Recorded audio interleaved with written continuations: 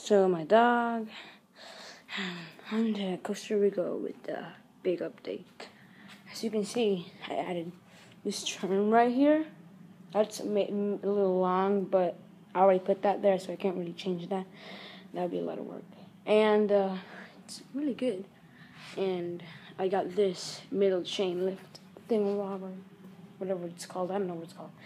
And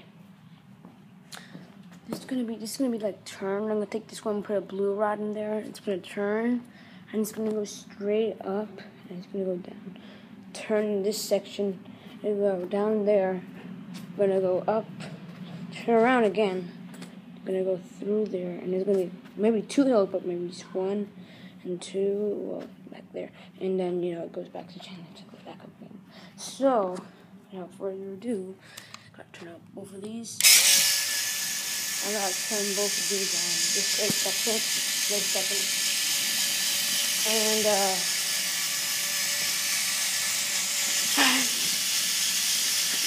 turn this one on and go to the, look. Look, look here.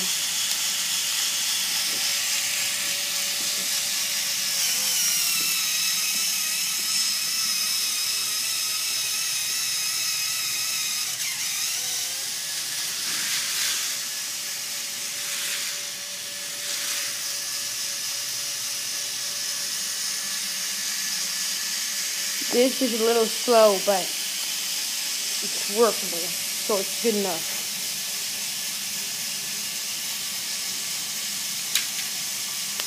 And as you can see, everything's good. Turn off the motors real quick. Go on with battery. And turn on this one, turn off this one. So, I might take the automatic station gates because they keep running right after. So, tell me what you think in the comments. We're on Nexus Coasters, and bye.